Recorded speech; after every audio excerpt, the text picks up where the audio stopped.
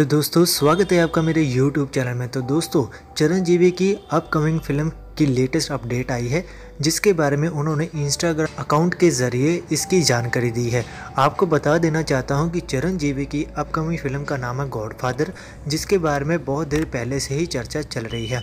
अब इसके बारे में एक लेटेस्ट अपडेट आई है कि इस फ़िल्म में कैम्यू करेंगे सलमान खान, यानी कि बॉलीवुड के भाईजान इस फ़िल्म में एक छोटा सा कैम्यू करेंगे और सलमान खान और चिरंजीवी एक साथ इस फ़िल्म में नज़र आएँगे।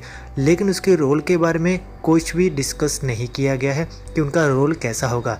लेकिन ये फ़िल्म जब रिलीज़ होगी तभी पता चलेगा। लेकिन ये एक बड़े बजट की फ़िल्म है और चिरंजीवी को इस फ़िल्म से बहुत ही ज़्यादा एक्सपेक्टेशन है। तो देखना दिलचस्प होगा कि सलमान खान और चिरंजीवी एक साथ इस फ़िल्म को लेकर कहाँ तक बॉक्स ऑफ़िस पर पहुँचते हैं।